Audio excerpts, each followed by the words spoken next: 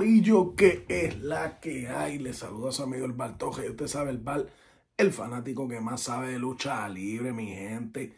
Espero que la estén pasando súper brutal en estas festividades navideñas que acaban de comenzar, por supuesto, Puerto Rico con las navidades más largas del mundo. No, va a ser la isla de Satuya, Trilili.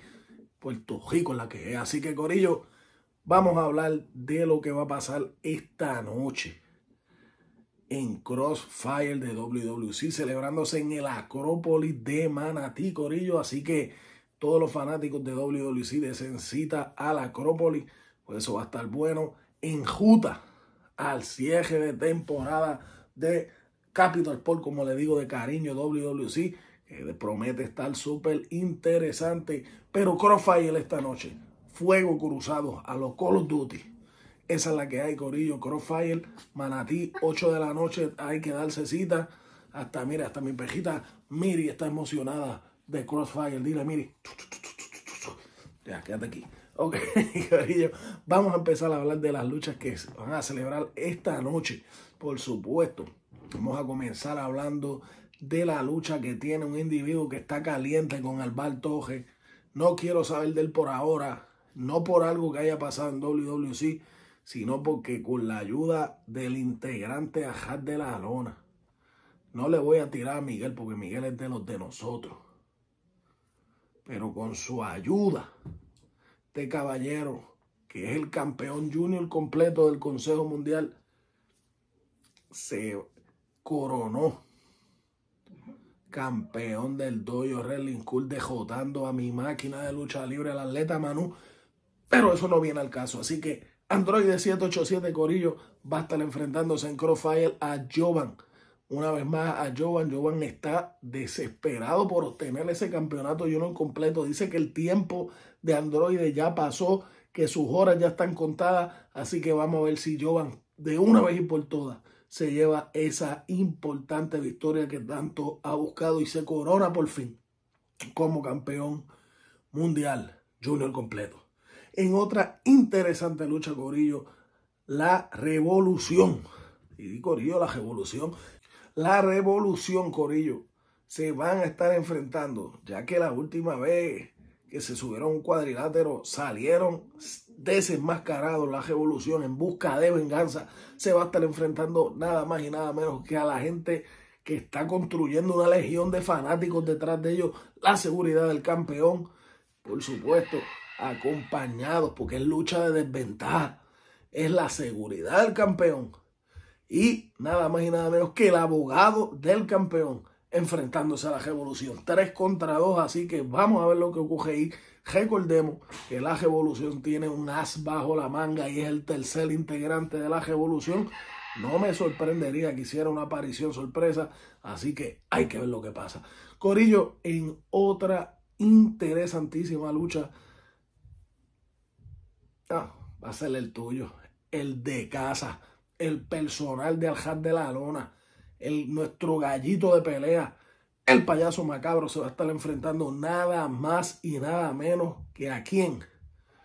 Que a la única DJ que ha tenido desde aniversario hacia acá, llegó el momento de cobrar venganza al gran Almando.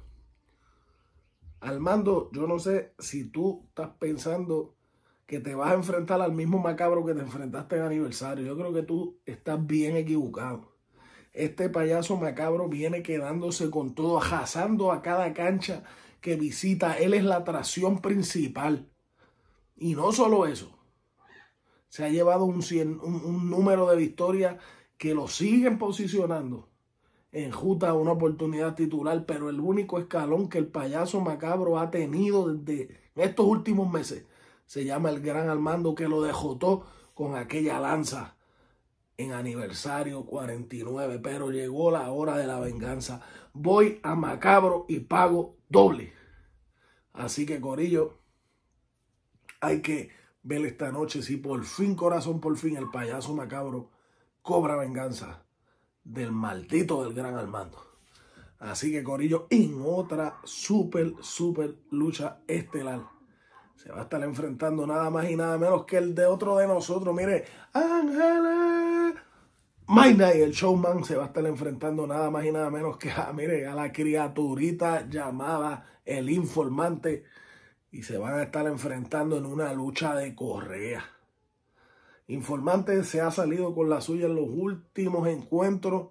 Ha salido por la puerta ancha. Le metió una pela a Jaide en Juanadías la otra vez cuando el, el showman My no pudo llegar. Pero ahora el showman My Night está debajo del ala protectora de las malditas avispas González, que está pendiente a todo lo que pase con él. Así que informante, mira lo que vas a hacer. Para mí que el show My, My, Night va detrás de recuperar lo que perdió. Y es el campeonato de Guapa Televisión, el campeonato de la televisión. Así que Corillo, hay que ver ese encuentro también. En otro súper, súper encuentro, Corillo. Vamos a estar viendo al gigante Nian. Y a Zigzaban. Ah, llegó el campeón. Llegó el campeón. Cada vez que suena esa musiquita yo me pompeo demasiado. Enfrentándose. Nada más y nada menos. Corillo, esta lucha promete. Dynasty versus el nuevo orden. Cisaban y el gigante Nian enfrentándose a Eddie, la Maravilla, Colón y a Gilbert. ¿Será esto de una vez y por todas el regreso absoluto de Dynasty? Yo sigo diciendo, Corillo, y esto lo estoy diciendo yo, es el que me escrache, pero a lo único, que le falta a Dynasty para volver a ser el Corillo dominante que eran es un gigante que se encargue del gigante Nian. Un gigante que se encargue del gigante Nian. Vamos a ver lo que pasa ahí. Dynasty necesita un nuevo integrante. Todos sabemos que Peter John Hamo fue parte de ese grupo, pero ahora Peter John Hamo está en otro menesteres. Ahora es el bis.